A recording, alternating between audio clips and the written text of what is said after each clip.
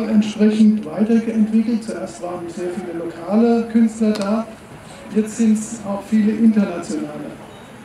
Niemand sagt dir, dass es daran liegt, dass du du bist.